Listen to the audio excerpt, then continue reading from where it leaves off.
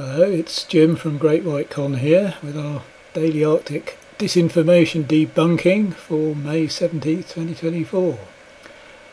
Chris Martz, the new kid on the climate skepticism block, has turned his eagle eye on the Arctic again. Chris asserts on his ex, formerly Twitter, feed that sea ice extent is currently the highest it has been for the date in 11 years and is higher than it was at this time in 1989, 2003, 2004, 2005, 2006, 2007, 2010 and 2011 which may be true for the National Snow and Ice Data Centre's Sea Ice Index metric that Chris proudly displays on X. My response is, so what?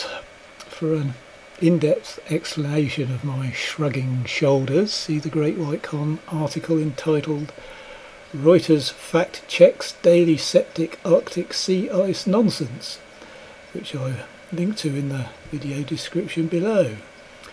In brief, according to Professor Julienne Stroeve from University College London, there is no correlation between the winter sea ice extent and how much will melt out in the summer and we have seen this time and time again. And here at the Great White Con, we have seen posts like Chris's time and time again, Julienne, including from one of the geriatrics on the climate skepticism block, Tony Heller. Sadly, Tony took exception to a recent history lesson of mine, so I can't see his incessant stream of Arctic themed cherry picks anymore. Next on today's Arctic misinformation menu, we have another newish, albeit middle aged, kid on the climate skepticism block. John Robson allegedly holds a PhD in American history, so perhaps he could try giving Tony Heller lessons on the birth of the United States of America without getting blocked. Um, I digress. Uh, John recently produced a Arctic themed YouTube video under the Climate Discussion Nexus umbrella. This was um, thoroughly debunked by Potholer, who you may be familiar with. Um, see the link in the video description below if you want to have your funny bone tickled.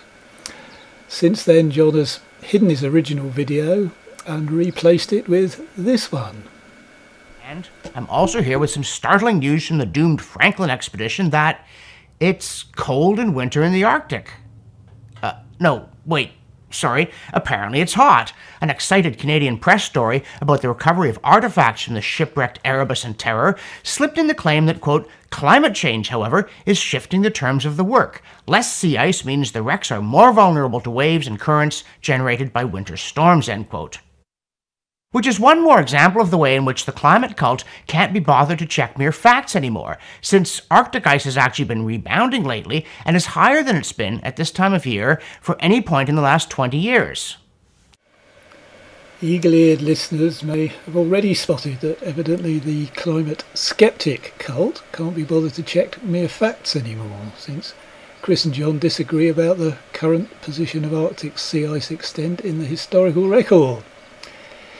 Is it the highest for the date in 11 years, or 20 years, or some other number?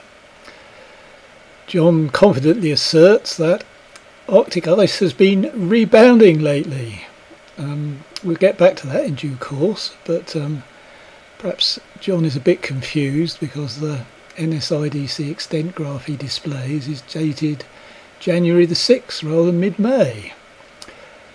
All of which makes um, my very good friend Snow White and I wonder why neither Chris nor John showed their flock of faithful followers a graph of NSIDC Arctic sea ice extent dated by way of arbitrary example December the 6th 2023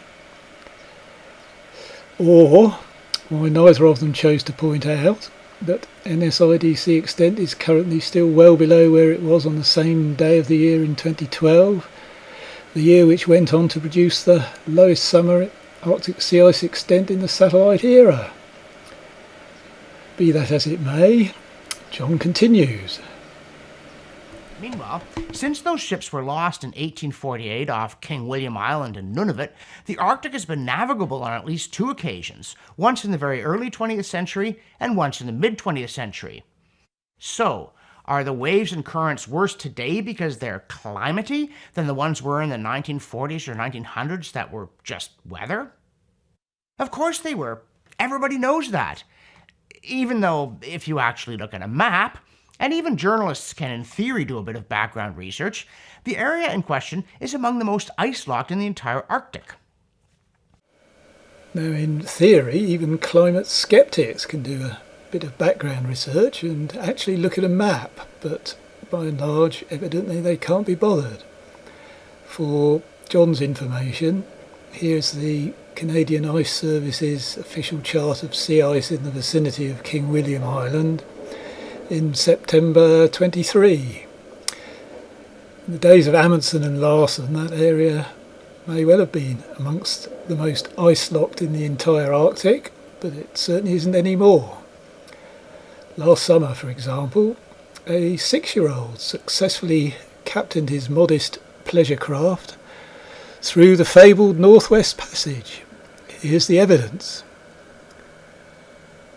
Now, getting back to the alleged Arctic sea ice rebound.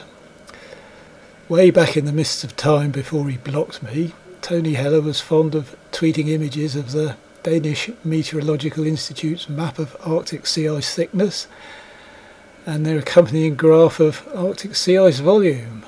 Um, see the link to an in-depth discussion of about those metrics in the video description below. But um, in brief, Here's the latest edition of the DMI's Arctic sea ice volume graph. Does that look like any sort of rebound to you? Ah, well, that's enough nonsense for one day, but no doubt there'll be plenty more disinformation to debunk in the not too distant future. So until then, it's goodbye from snow and it's goodbye from me.